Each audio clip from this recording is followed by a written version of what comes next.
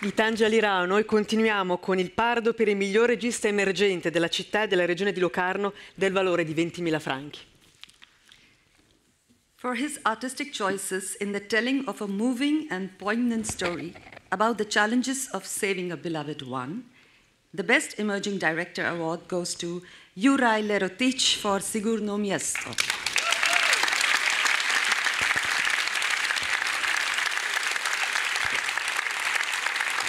Congratulazioni.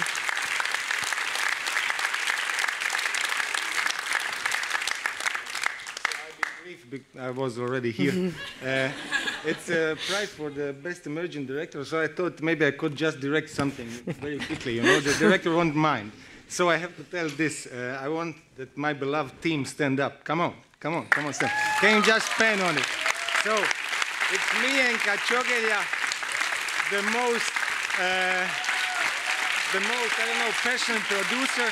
It's Marko Brdar, the best cinematographer I know and Miljenk and Sasha Ban and Nevenka, the co-producer.